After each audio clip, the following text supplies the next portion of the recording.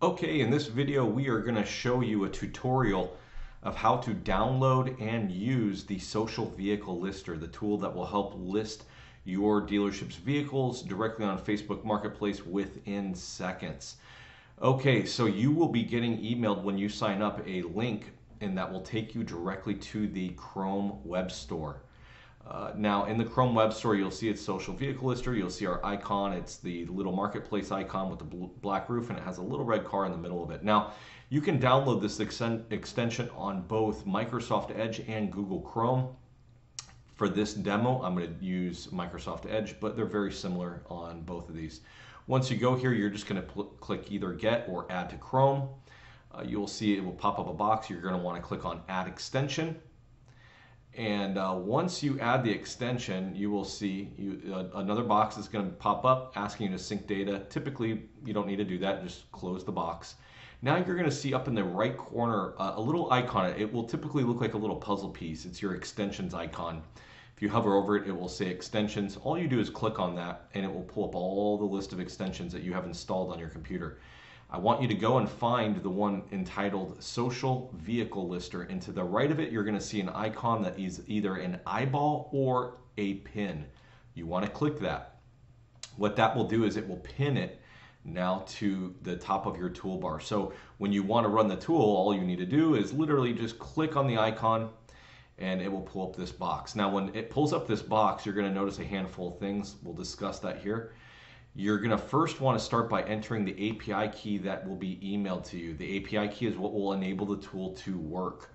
I recommend that you paste this in here. Do not try to copy it or, or just type it out because it's such a long digit.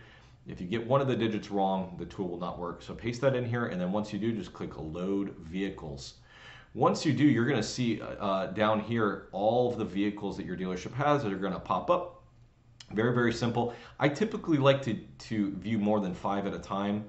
If you see rows per page at the bottom, I usually click 100 and this will show a big list of the vehicles. Now, uh, once you see, you'll see uh, photos, a little preview of the vehicle picture. Now, this is important because when you click on it, it will show you what photos the dealership has for uh, this particular vehicle.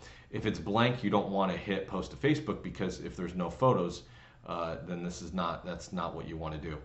Uh, next uh, thing you're going to want to do before you post this vehicle is you're going to want to add a listing description. Now, what I typically recommend is um, what you could do is just type in here.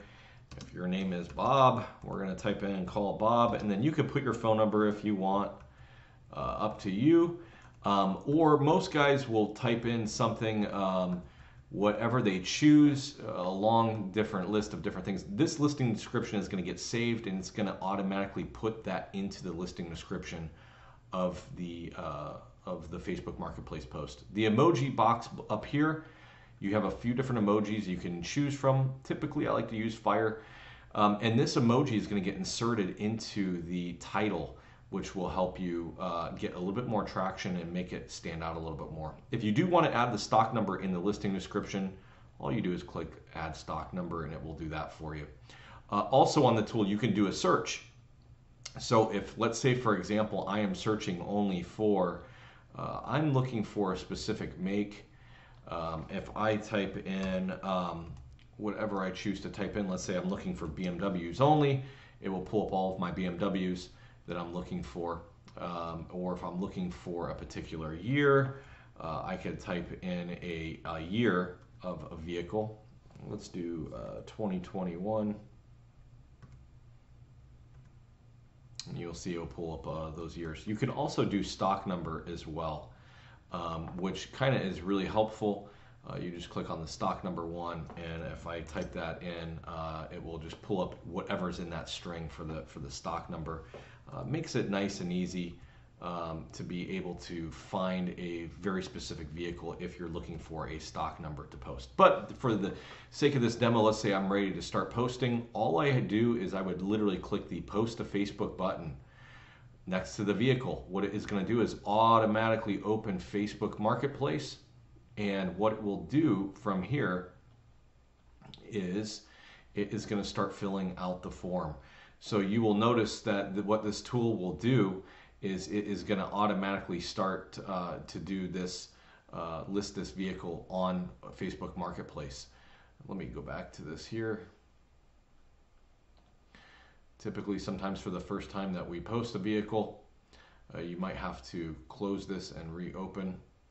We'll do that one time here since I just downloaded this. We'll hit load vehicles. Let's post that uh, Mercedes-Benz.